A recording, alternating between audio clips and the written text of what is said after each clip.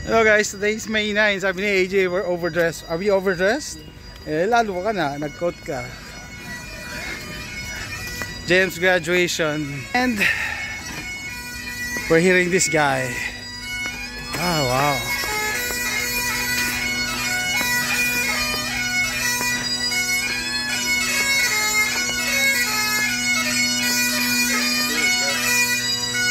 It's like running a cat with a lawnmower.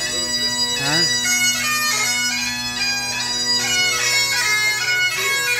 guys, I think JM is there. Ay, mga cadets. This is the venue. I don't know, probably. Ito sa taas rin. Let's see. Okay. Go, go, go. Go with your mom. Para kita mo. Go down, go straight.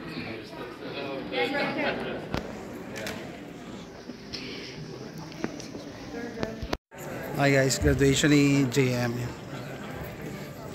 Sabi ni AJ, overdressed daw kami. Ikaw, nag-coat ka eh. Init-init eh. So, Fire Academy, gumawa din si JM. Share ko lang, no? Ah, yung agam-agam na anak ko. Magaling naman anak ko matalino. Kaso nga, being Filipino, sabi niya siya daw yung pina- pinakamaliit. Siya yung pinakamaliit sa kanila. Siyempre, mga Amerikano kasama niya. O, kaya palagi nag-araw-araw nag-gym to. Tsaka, nagpo-protein shake. Ano, nakatinga lang ano. Ano pa sabi ko sa'yo? Uh, sabi ko, doon kami sa taas eh. Ayaw na. Okay, sabi ni JM the other day, pumasa na siya dun sa ano, state exam, no? public service. Service kasi magiging fireman siya. Civil service. Civil service pala, yeah. So pwede na siya magtrabaho sa government. Ganun yun eh. Okay, so hopefully makapasok siya sa ano sa fire department no? to serve the community and gusto niya magkaroon ng sarili niyang karir eh. tigas ng ulo nito eh pinag-aaral namin ayaw mag-aaral eh I mean ayaw niya mag-college di ba ayaw niya sa university. Gusto niya mga ganito. Tingnan natin. Ito so doon papasok yung tanong na ano eh, diskarte ba o college? Kasi yung ah, kuya naman niya limang taon na nag-aaral sa college. Hanggang hindi pa rin nagtatrabaho. Samantalang to si JM yung second child ko ginawa niya to habang nagtatrabaho siya. So working student siya. And siya rin yung nagbayad ng sarili niyang tuition tsaka uniform ah JM I said JM Oh, I see Jim. yeah I, my, my son is there you know Leto No, he's on the yeah top. that's it the bar No, I tell you what's on the top of. no class baby Oh, he is. yeah that's JM Oh, he's small. yeah he's the smallest Yeah, but he's still. Ay. Oh guys, yan yung ginagawa nila oh. Papasok sa bubong oh. May chainsaw. Tapos dadaan sila sa makikipot na ano. Yan yung training nila, naka full gear. Full gear. Naka gas mask.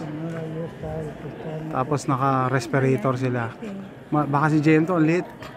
Ang lit ng anak ko eh, ano. Mukhang maliit eh. Baka yung anak ko yan. Oo. Tapos, anak ko pinakamaliit eh.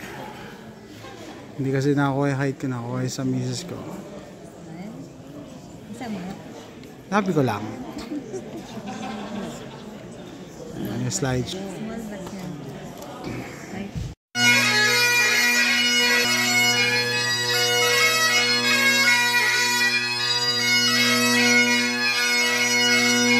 yan.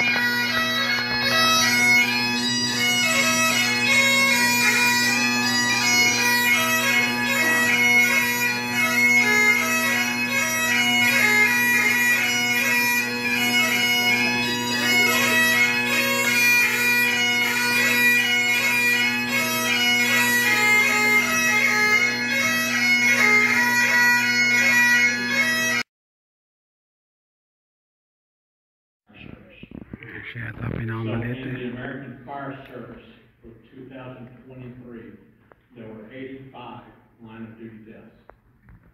So far, as of this, for two thousand twenty-four, there were, there are twenty-five line of duty deaths. Let's find JM. Yeah, go, go, go. May meron daw cookies, oh. Cookies. Let's find JM. Ayun na, him, go straight. Go straight. Pogi nito. ah. Where's JM?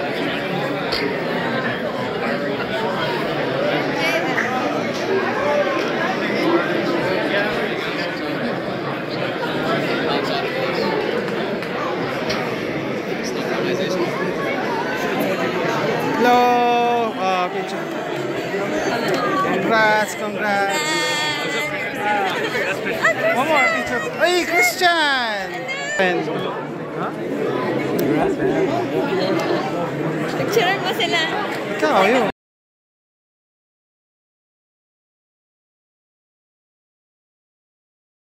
Nandito yung kaibigan ni JM, si Christian. Kapitbahay namin. Oh, buti naman. Tagal na sila magkaibigan. El- high school or middle school? Daming tao.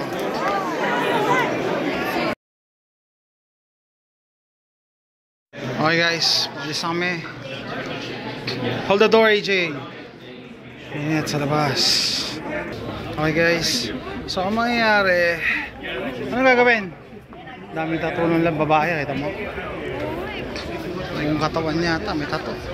Okay, so uwi kami ngayon kasi may ko na. May kotse kami dala, tapos si Jem may dala rin. So kita daw kami sa bahay, tapos mag-celebrate later. Okay, iwan niya yung kotse niya sa bahay para isang kotse na lang. What? Pinakilala na. Girlfriend niya daw yun. Yikes! Hey! AJ! AJ! Ma'am, I'd like you to meet. Nakalimutan ko yung pangalan. Sinabi, nakilala na na girlfriend. Tinaon talaga na graduation ha, para di ka makakontract. She's my girlfriend? Yeah. Contract. She is my girlfriend. Tinaon talaga na graduation. Oh, parang ano, puno ni Voldemort yan ha. Puting-puti oh. Picture tayo dito. Oh, si ano yun, hindi makaget over.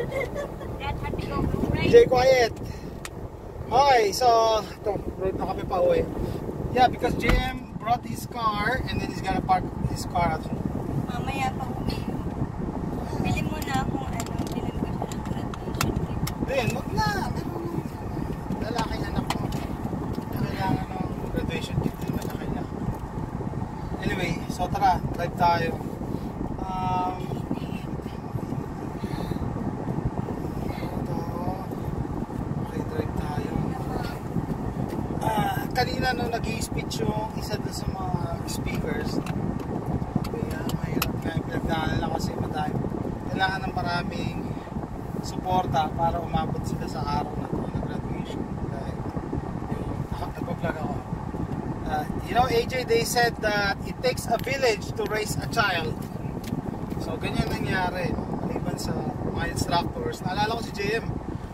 Palagi, pag Monday, nagpapa-plancha sa akin ng damit. Kasi kailangan, ano, lalo na mga first days niya, no? Pinagalitan daw siya kasi may kusot daw yung damit niya. Kailangan frame and proper. Meron silang uniform. Parang military din kasi yung training nila. Na meron silang pang-exercise. Sino nag-kanjan? Ikaw, ngayon ka lang nag-plancha kung kailan graduation. Ako palagi nagpa-plancha ng damit niya. Kaya nga, nung unang araw na doon sabihan siyang kusot. Sino Ako, nag-plancha? ako nag-plancha no. Ah. Hindi pwede yung pwede na eh. Talagang dapat, ano eh. Dapat, ano yung pagkaka-plancha eh. Chinecheck yung, yeah, chinecheck yung uniform nila. No? So, yun nga, no, pagka tinignan mo yung mga pictures and videos, madami silang pinagdaanan sa tayo. Kaya, kaya sabi niya kanina, sabi mo, ah, kaya pala pag umuwi si JM, pagod na pagod. Kasi may physical exercise, tapos may mga clinicals. Yung clinical sila, yung papasok ka talaga sa umaapoy na building, mga ganon, full gear, naka-respirator. So, pagod na pagod siya. Kaya pagka ganyan niya, nag-aaral ng ganyan, hindi mo na pwedeng obligayin niya na tumulong sa bahay, maglinis, maghugas. Kaya, minsan, uwi siya, ano eh, walang daanan. Nandito na ako. Uuwi siya. Ano, pagod na pagod siya. Kakain, alam, minsan hindi nga siya kumakain.